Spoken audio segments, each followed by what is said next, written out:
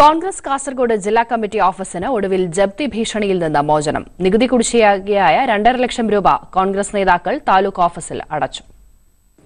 ജില്ലാ കോൺഗ്രസ് കമ്മിറ്റിയുടെ ആസ്ഥാനമായ വിദ്യാനഗറിലെ കെ കരുണാകരൻ സ്മാരക മന്ദിരമാണ് കരം അടയ്ക്കാതെ ജപ്തി ഭീഷണിയിലായത്. റവന്യൂ വകുപ്പ് ജപ്തിക്കൊരുങ്ങുന്നുവെന്ന വാർത്ത മാധ്യമങ്ങളിലൂടെയാണ് പാർട്ടി പ്രവർത്തകനായ കെ വി ബാലകൃഷ്ണൻ അറിഞ്ഞത്. ഇതോടെ പണം നൽകാനുള്ള സന്നദ്ധത നേതൃത്വത്തെ അറിയിച്ചു. കഴിഞ്ഞ ദിവസം ജില്ലയിലെത്തിയ മുൻ മുഖ്യമന്ത്രി ഉമ്മൻചാണ്ടിയെ രണ്ടര ലക്ഷം രൂപയുടെ ചെക്കും ഏൽപ്പിച്ചു. D C C president Hakeem കുന്നലിന്റെ നേതൃത്വത്തിൽ നേതാക്കൾ കാസർകോട് താലൂക്ക് ഓഫീസിലെത്തിയാണ് നികുതി അടച്ചത്. കെട്ടിട നിർമ്മാണവുമായി ബന്ധപ്പെട്ട നിർമ്മാണ തൊഴിലാളി ക്ഷേമനിധി ബോർഡിലേക്ക് അടക്കേണ്ട ഒരു ലക്ഷത്തി പതിനോരായിരം രൂപയും കുടിശ്ശികയുണ്ട്. ഈ തുകയും ഒരാഴ്ചക്കകം അടച്ച് പ്രശ്നങ്ങൾ പരിഹരിക്കാനാണ് നേതൃത്വത്തിന്റെ ശ്രമം. അത് സംബന്ധിച്ചിട്ടുള്ള കത്ത് കഴിഞ്ഞ രണ്ട് ആഴ്ച മുമ്പാണ് ലഭിച്ചിരിക്കുന്നത്. അത് എത്രയും പെട്ടെന്ന് അതുപോലെ തന്നെ എത്രയും പെട്ടെന്ന് അടച്ചു തീർത്തുകൊണ്ടും.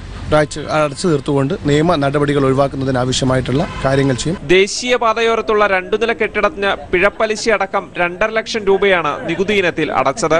കുടിശ്ശിക വരുത്തിയ തുകയ്ക്ക് ആറു ശതമാനം പലിശയാണ് റവന്യൂ വകുപ്പ് ഈടാക്കിയത്. ഭാരവാഹികൾ മാറുന്നതിനൊപ്പം ആസ്തി ബാധ്യത രേഖകൾ കൈമാറ്റം ചെയ്യപ്പെടാതെ പോകുന്നതാണ് പ്രശ്നങ്ങൾ സൃഷ്ടിക്കുന്നതെന്ന് നേതാക്കൾ ചൂണ്ടിക്കാട്ടുന്നു. മനോരമ ന്യൂസ് കാസർഗോഡ്